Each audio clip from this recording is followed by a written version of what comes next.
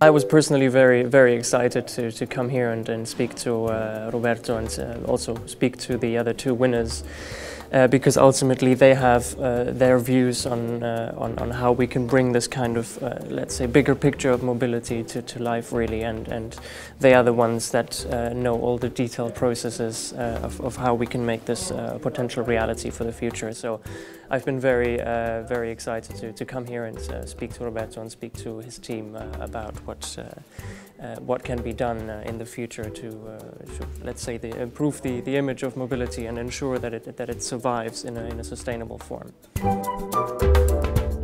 Having, uh, let's say, German genes, you inevitably grow up to, to like cars and you inevitably grow up with cars.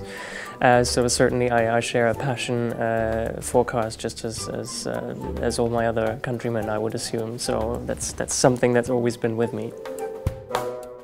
So I think I'm a little bit of an oddball here because I went on a design contest without actually giving a design, but rather I looked at the whole perspective of, of the industry and I looked at how different car concepts can bring kind of the, the bigger picture of sustainable mobility to, to life in uh, a little bit more distant future.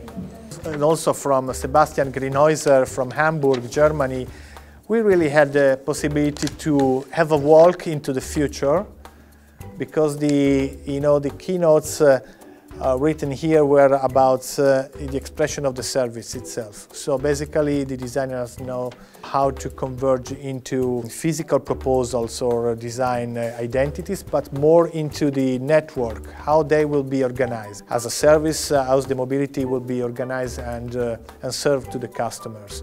And very brilliant execution of uh, and very mature interpretation how to prefigurate a, a design approach with this briefing. Thank you.